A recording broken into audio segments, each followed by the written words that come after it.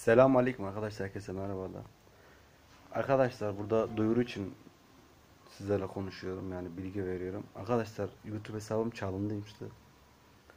Ee, dünden beri uğraştık arkadaşlar aldık hesabımızı. Allah'ın izniyle arkadaşlar böyle yazılımlar kötü yazılımlar falan PC'nize atmayın arkadaşlar. Otomatikman uzaktan falan bilgisayarına müdahale ediyorlar şifreyi falan alıyorlar.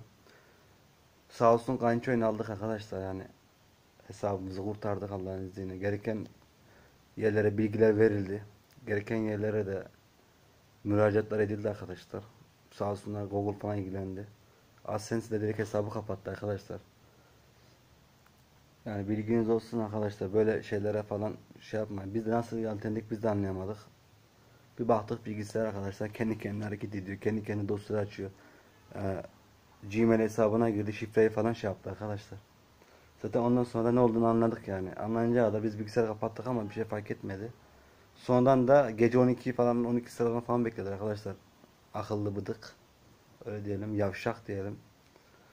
Ve adamı herkesi bildi arkadaşlar. Kimin olduğunu da biliyoruz. Onlar da müracaat edeceğiz. Yani savcıda da yani yeri gelirse vereceğim. Şu an haber bekliyoruz arkadaşlar yani. Şu an kanalım kurtuldu Allah'ın izniyle.